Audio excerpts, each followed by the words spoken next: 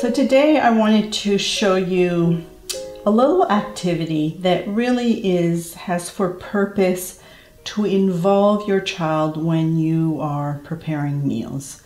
I often hear parents complain that their children are in the way when they're trying to fix dinner, and my advice is always to try to include them in. So, this is a very simple activity that can actually be done at the sink next to you. This can be for an 18 month old, even younger. Uh, really depends. I prefer the use of a learning tower where they're up at the kitchen counter with you.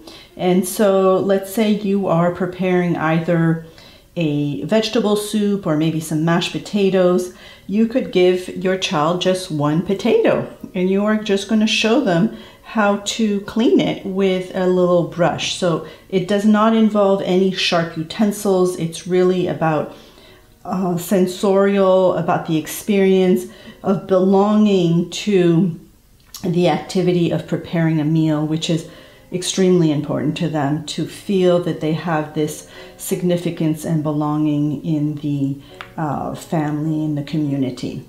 So here I'm going to just use some water.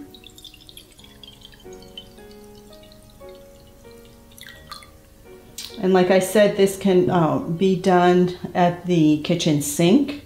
And it's really about washing the um, the potato. I have a little nail brush and I'm just going to show the child I just scrub it and it just gets cleaner and cleaner. And this potato, you might never see it again. They might just disappear and get, you know, I don't know, eaten, bitten into it, smelled, whatever, but it's just they are active, they are engaged, they are doing something um, while you are cooking. And really just letting them work as you are working alongside with them. And that's really as simple as that scrubbing a potato.